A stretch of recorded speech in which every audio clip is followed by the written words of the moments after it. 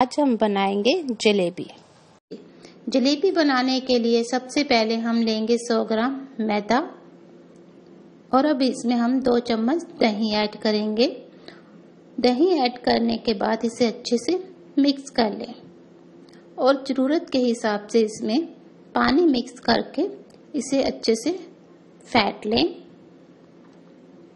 अच्छे से फैटने के बाद हम इसमें थोड़ा सा बेकिंग पाउडर डालेंगे। बेकिंग पाउडर डालने के बाद हम इसे अच्छे से फिर से मिक्स करेंगे।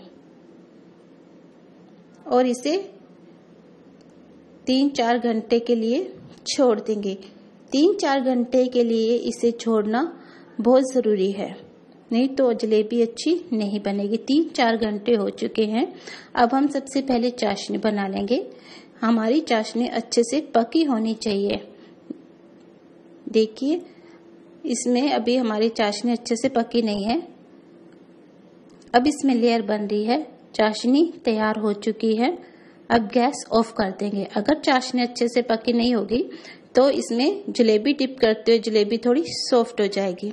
मैंने गैस पे पहले ही तेल रख रखा है। जितने में तेल गर्म हो रहा है, इतने में हम बोतल में बैटर भर लेंगे।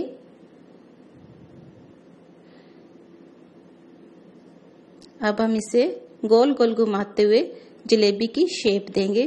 इस बात का ध्यान रखें कि जलेबी तलने के लिए हम फ्लैट वाला बर्तन ही लें।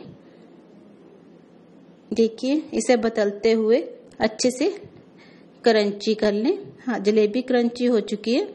अब हम इसे चाशनी में डिप कर देंगे और इसे हिलाते हुए अच्छे से मिक्स करेंगे।